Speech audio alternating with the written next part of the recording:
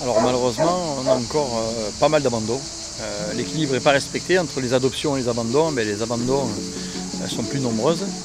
Et, on a vraiment du mal aujourd'hui à comprendre comment ça se fait que les gens abandonnent encore pour partir en vacances et à nous abandonner leur, chat ou leur chien, malgré les grosses campagnes de sensibilisation qu'on peut faire pour, pour garder son animal. Chaque année, le, nombre augmente euh, ou, stabilise. Et chaque année, on se dit qu'avec la, la- sensibilisation qu'on a fait, eh ben, ça va baisser. Eh ben, on se retrouve encore avec des chiffres qui sont quasiment euh, à l'identique. Il faut savoir que sur la France, il y a 100 000 abandons. Euh, 10% euh, dépendent de- du, du- sud, sud de la France, il y a 10% d'abandons, autant chien, chat ou nouvel animaux de compagnie.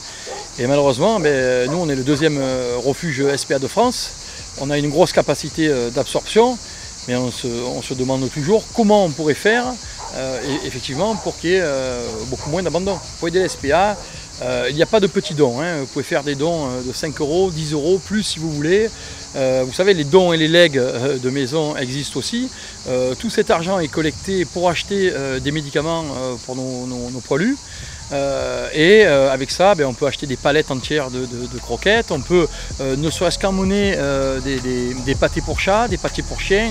Enfin, il n'y a pas de petits dons, tout est bon à prendre pour la SPA et d'ailleurs on vous en remercie beaucoup de venir souvent chez nous s'occuper de la cause animale.